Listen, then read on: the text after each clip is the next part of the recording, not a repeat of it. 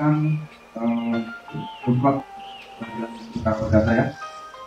Hari ini yang bertindak sebagai hakim kedua Muhammad Raka Ayat Hakim anggota 1 Maidina Aziza bertindak sebagai hakim anggota 2 Desi Fitriani.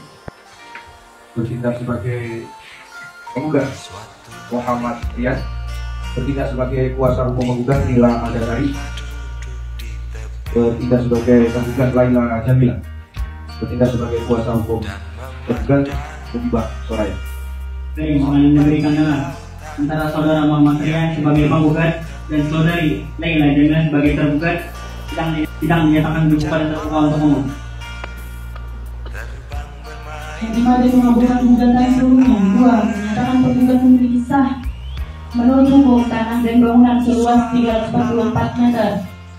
Eksepsi tergugat ini seluruhnya menolak gugatan penggugat atau pihak yang menyatakan gugatan penggugat tidak dapat diterima. Menghukum penggugat untuk membayar seluruh biaya perkara dalam pokok perkara.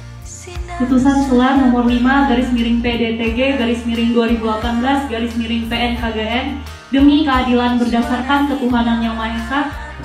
Sebagai saksi akan menerangkan akan menerangkan keterangan yang benar, keterangan benar. tidak lain Penggugat ini memiliki rumah di di melihat tergugat menyerahkan uang kepada kepala tukang.